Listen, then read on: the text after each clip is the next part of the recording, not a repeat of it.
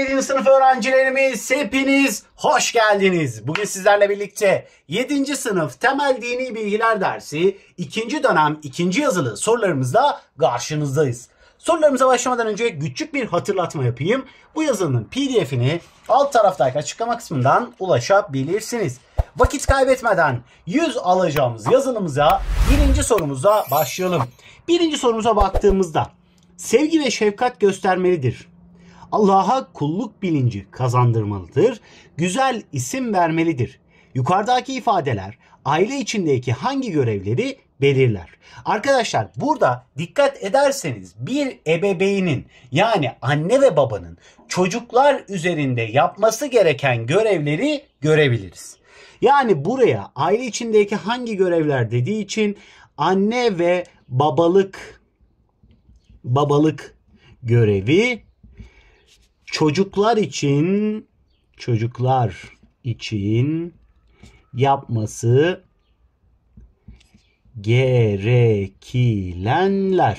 Ve buna ekstra olarak şunları da söyleyebiliriz. Maddi ihtiyaçlarını karşılamak, onlara güzel ahlak vermek zaten yukarıda da bundan bahsetmiş. Bunlar da söyleyebileceğimiz seçeneklerdendir.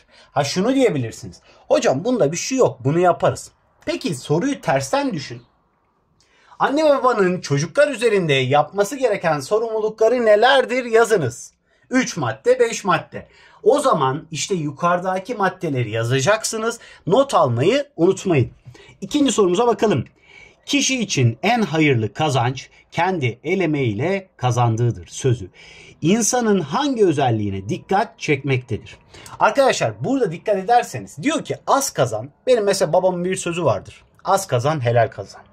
Ha demek ki kişi helal kazanacaksa az da kazansa sıkıntı değil. Oraya bir temiz kazancın girmesi lazım. Buradaki cümlede de en hayırlı kazanç kendi el emeği ile kazandığıdır derken kendi el emeğimiz, kendi kazancımız kazancımız hayırlıdır. Hayırlıdır. Helal kazanmaya helal kazanmaya dikkat etmeliyiz. Bu kadar yazsanız sizin cevabınız için 100 almaya bir adım daha yaklaştıracaktır. Üçüncü sorumuza bakalım. Peygamberimiz sallallahu aleyhi ve sellem veda hutbesinde insan hak ve özgürlüklerinin hangi yönüne vurgu yapmıştır? Arkadaşlar öncelikli olarak veda hutbesi nedir? Şöyle kısaca bir söyleyelim. Peygamber Efendimiz Mekke'yi fethettikten sonra belirli yani bir Müslüman kitleyi toplamış ve o Müslüman kitleye öğütler vermiştir. Ve bu öğütler aslında İslamiyet'in temelinde bulunan o temel kaynaklar var ya onlara dayanmaktadır. Mesela hocam bu öğütler içerisinde neler var? İnsan hak ve özgürlüklerine göre. Can ve mal can ve mal varlığı mal varlığı diyelim. Mal korunmuştur demeyelim de mal varlığı korunmuştur korunmuştur. Yani herkesin canı Allah'ın bir emanetidir. Başkasının canına kıymayacaksınız demiş. Daha sonra her türlü kan davası, kan davaları davaları kaldırılmıştır. Şimdi arkadaşlar belki kan davasının ne olduğunu bilmiyorsunuz ama o dönemde Mekke döneminde şöyle cahiliye dönemi ve İslamiyet'in ilk dönemlerine Hayırlı yaşa diyenler varsa da onlara selam olsun arkadaşlar. Devam edelim. Ee, e, cahiliye dönemi ve İslamiyet'in ilk dönemlerine baktığımız zaman o dönemlerde arkadaşlar Arap kabileler halinde yaşıyordu. Kabileler halinde Allah'ım vallahi cümleyi tamamlayamıyorum arkadaşlar. Neyse devam edelim. Kabileler halinde yaşadığı için kan davaları vardı. Yani biri birini öldürdüğü zaman sen benim kabileden birini öldürdün ben de seni öldüreceğim deyip birbirlerini öldürüyorlardı. İşte Peygamber Efendimiz Müslümanın haksız yere kanı akmasın diye kan davalarını kaldırmıştır. Ve demiştir ki kadınlar kadınlar sizin eşinizdir. Kadınlar size Allah'ın emanetidir. Yani kadınlarınıza iyi davranın demiştir. Niye böyle bir şey dedi? Şöyle bir düşünelim arkadaşlar. Peygamber Efendimiz niye o topluluğa, İslam topluluğuna, Müslümanlara, ümmetine niye dedi ki kadınlar size Allah'ın emanetidir? Çünkü bir dönem önce cahiliye dönemine baktığınız zaman kadınlar çok değersiz. Kadınları diri diri toprağa gömüyorlar. Mal gibi alıp satıyorlar. Ama İslamiyetle birlikte Peygamber Efendimiz kızı Hazreti Fatıma'yı omzuna alıp Kabe'yi tavaf etmiştir. Kızı odaya geldiğinde ayağa kalkmıştır. Kadınlara çok büyük bir saygı verilmiştir. Ve bununla birlikte Peygamber Efendimiz veda hutbesinde de son kez Müslümanlara öğüt veriyor. Diyor ki kadınlar size Allah'ın emanetidir. Onları korumanız gerekmektedir. Onlara eş olun şeklinde söylemektedir. Ve son olarak şunu da söyleyeyim arkadaşlar. Kimsenin kimseye üstünlüğü üstünlüğü yoktur. Peki yani bu cümle tam olarak böyle değildi arkadaşlar. Ana fikir olarak böyle. Peki hocam yani Peygamber Efendimiz bu cümleyi de niye söyledi? Çünkü baktığın zaman kölelik denilen e, bir olay vardı. Ve Peygamber Efendimiz bu köleliği kaldırdı bildiğiniz üzere. Köleliği kaldırdı. Kölelikteki mantık şu. Kas sistemi dediğimiz bir sistem. Yani üst tarafta bir kral ailesi gibi böyle bir üst kademe var. Alt tarafta köleler var eziliyor. Ama İslamiyet'te böyle değildir. İslamiyet'te her Müslüman eşit haklara sahiptir. Her mümin eşittir. Bundan dolayı Peygamber Efendimiz de diyor ki kimsenin kimseye üstünlüğü yoktur. Siyahın beyaza, Arap'ın başka bir ırka üstünlüğü yoktur.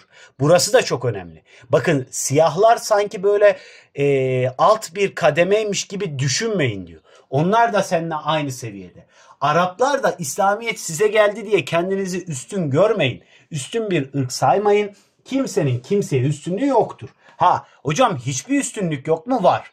Yalnızca üstünlük takvadadır. Yani Allah'a ibadettedir diyerek burada asıl ana fikri vurgulamak istiyor arkadaşlar. Geldik dördüncü sorumuza. İnsanları küçümseyip yüz çevirme. Yeryüzünde böbürlenerek yürüme. Şüphe yok ki Allah kendini beğenip böbürlenen kimseleri sevmez. Yukarıdaki ayet aşağıdaki hangi olumsuz davranışı eleştirmektedir. Tabii ki de bu soruyu bir test sorusundan aldığım belli oldu. Burayı çizdik ve devam ettik. Burada arkadaşlar dikkat ederseniz insanları küçümseyip yüz çevirme. Yani böbürlenmemekten bahsediyor. Yani aslında şurada kimsenin kimseye üstünlüğü yoktur derken üstün olduğunu olduğunu düşünme. Kibirlenme. Kibirlenme. Kibir kimdendir? Kibir şeytandandır. Bundan dolayı kendini beğenip kendini büyükmüş gibi görme diyor. Geldik 5. sorumuza arkadaşlar. 5. soruda yukarıdaki farzların namazın kılınışına göre sıralanışını yazınız. Arkadaşlar öncelikli olarak tabii ki de vakit niyet, e, namazın dışındaki şartlar. Daha sonra iftidak tekbiriyle birlikte namaza başlarız. Allahu Ekber deriz. Daha sonra kıyam vardır. Kıyam dediğimiz nedir arkadaşlar? Ayakta dik bir şekilde bir elif gibi durmaktır. Yani düz ayakta durduğumuz ellerimizi şu şekilde bağladığımız yani şu iki parmağı bağladığımız kamera açısı dar olduğu için gösteremedim. Bağladığımız bir duruştur. Daha sonra ise arkadaşlar kıyam esnasında kıraat yaparız. Yani Kur'an-ı Kerim'den sureler okuruz. Hani böyle hızlı hızlı değil ha. Hepsini açık ve net bir şekilde. Bakın hepiniz elhamdülillah Müslümanız arkadaşlar. Ee, burada asıl amaç ya hemen bir an önce kılak kahak gidek değil yani. Orada namazın ne demek olduğunu hissetmemiz lazım bütün hücrelerimizde. Kıraattan sonra arkadaşlar rüküye geçeriz. Rükû nedir? Rükû 90 derecelik şu şey 90 aynen 90 derecelik şu şekilde durmamızdır. Daha sonra ise secdeye geçeriz arkadaşlar. Yani yere kapanırız. Secdeden sonra kade ahire kade ahire yani son oturuşu gerçekleştiririz. Sıralama olarak baktığımızda da 3, rükû 1, secde 2 yanlış olmasın kade ahirede 4 şeklinde olacaktır. Namazın kılınışı bu şekildedir. Daha sonra da zaten kade ahireden sonra da selam veririz. Altıncı sorumuza bakalım. İyiliğe iyilik her kişinin karı, Kötülüğe iyilik er kişinin kârıdır. Verilen atasözün en iyi açıklayan yargı nedir? Şöyle bir bakalım arkadaşlar. Ben size bir olaydan bahsedeyim. Peygamber Efendimiz bir gün bir sahabiye soruyor. Diyor ki sana diyor biri kötülük yaparsa ne yaparsın? Ben de kötülük yaparım diyor. Ha. Hazreti Ali'ye soruyor. Ya Ali diyor. Sana biri kötülük yaparsa ne yaparsın? İyilik yaparım. Sana kötülük yaparsa biri ne yaparsın? İyilik yaparım. Sana kötülük yaparsa biri ne yaparsın? İyilik yaparım. Üç sefer soruyor. İşte er kişi Hazreti Ali gibi olmaktır. Burada kötülüğe kötülük yapmak kolaydır. Kötülüğe kötülük kolaydır. Kolaydır. Ama ama ahlak ahlaklı Müslüman birinin Müslüman birinin her zaman her zaman iyi olması gerekir. İyi olması ya da iyi davranması gerekir arkadaşlar. Asıl yargı budur. Yani kötülük yapmak kolay ama iyilik yapmak zordur. İyilik yapanın da mükafatı çok fazladır. O da Allah katındadır. Yedinci sorumuza bakalım. Hiçbir baba evladına güzel ahlaktan daha üstün bir hediye vermemiştir. Yukarıdaki hadiste bahsedilen nedir? Açıklayınız. Miras, para, pul, ev değil. Bak benim cümlemle yazıyorum. Değildir. Asıl önemli, asıl önemli olan güzel evlatlar, güzel evlatlar, evle, evletler, evlat, evlat, evlatalar yazmışım, evlatlar, güzel ahlaklı da diyelim, ahlaklı evlatlar yetiştirmeliyiz. Yorumlama olarak bunu söyleyebiliriz. Asıl önemli olan ölüp gittikten sonra çocuklarımıza kalacak olan miras ahlaktır. 8. sorumuza bakalım. Mimin bal arısı gibidir. Oh ne güzel. Çok severim balları. Benim de çok arım var arkadaşlar. Bu arada 40-50 kovana yakın arım var. Onun için arıları çok severim. Temiz olan yer, temiz olanı balı üretir. Bir çiçeği konduğunda onu kırıp bozmaz. Yukarıdaki has, has, hadiste bahsedilen nedir? Dilim dönmedi arkadaşlar kusura bakmayın. Burada şudur. Mümin temiz olmalıdır. Temiz olmalı ve temiz yemeli. Temiz yemeli. Mümin yine aynı şekilde üretmeli. Mümin yine aynı şekilde kırıp bozmamalı. Yani mümin sevgili olmalı. Sevgi ve hoşgörülü göstermeli.